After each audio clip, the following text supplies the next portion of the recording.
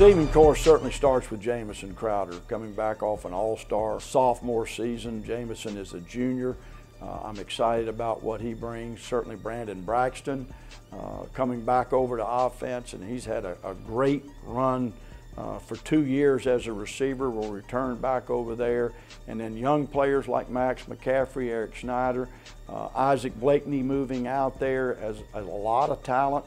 Uh, Anthony Nash, we have not had anyone as fast as he is since we've been here, and we have some incoming people.